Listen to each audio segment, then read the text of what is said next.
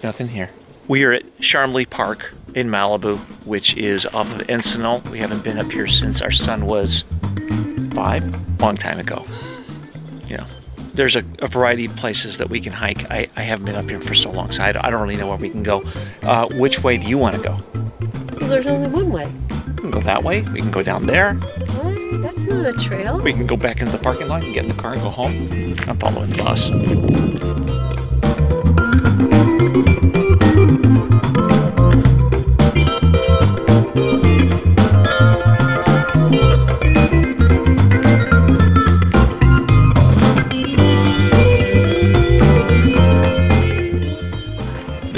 Better than hiking in the middle of the week. Even though technically this is a Friday. So just forget I said that. There's nobody here. There was a few cars in the parking lot.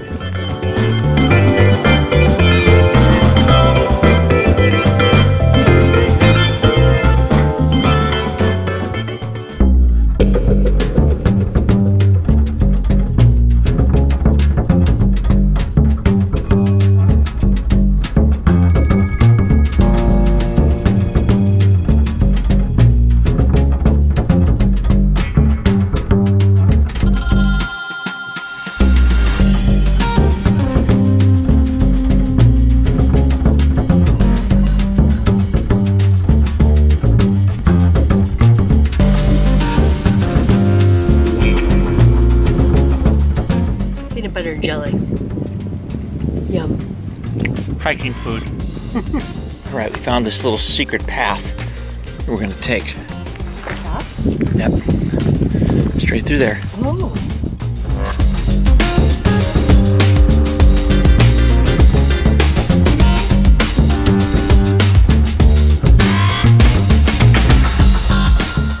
This used to be a house here.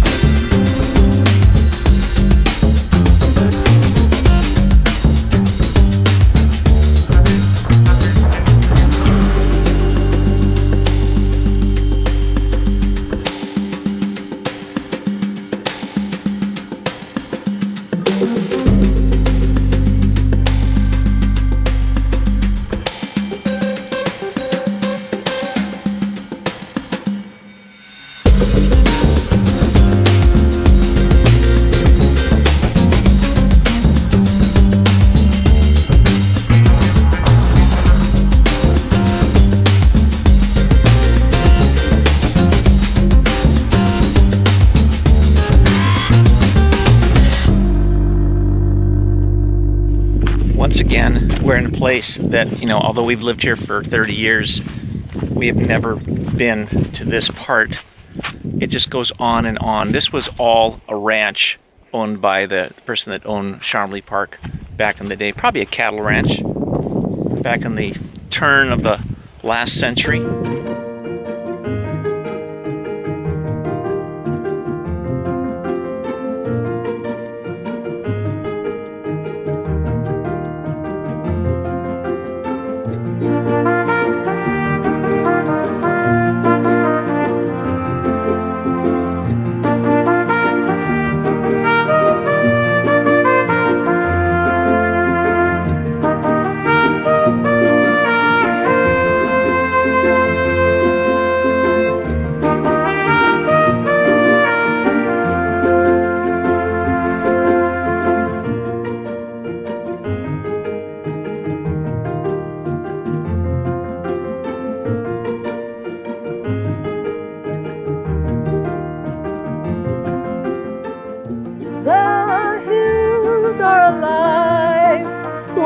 Sound of music. A sound they have heard for a thousand years. Wow, that was that, was- that was good, man. That was bad.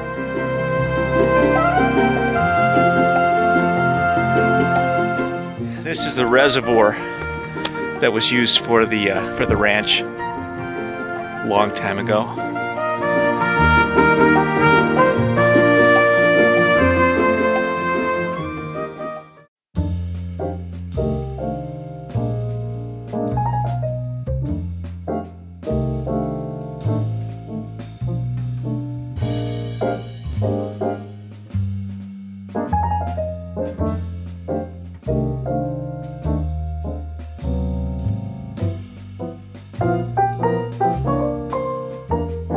As with most hikes, we were just out at the point, got some great shots of the view, but we met a young lady named Heather.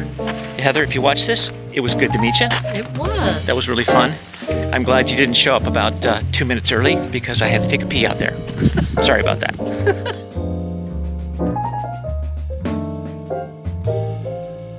this is Heather walking away down there. What's up, Heather? You're doing a great job. There she saw.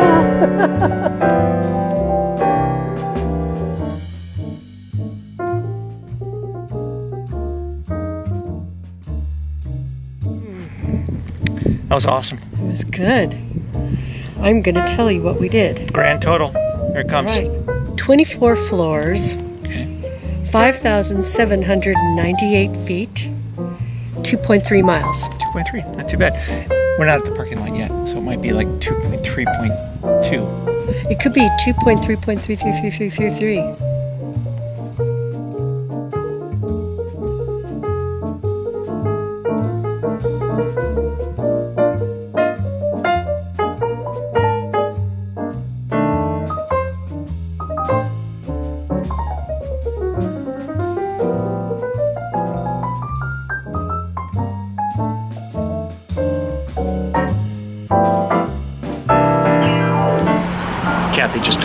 making burgers tonight. Awesome. Nice Porsche. Another nice Porsche.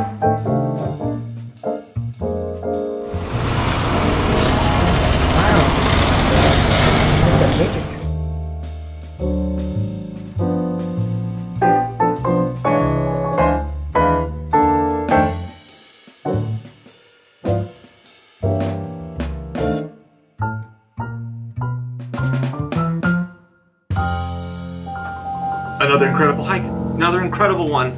You know, Kathie is addicted to doing these things now, so much so that she's like a little kid that every time we wake up, she says, Are we going to hike today? Do what I can to listen to her. I even put on my big ear, but sometimes she chews me out.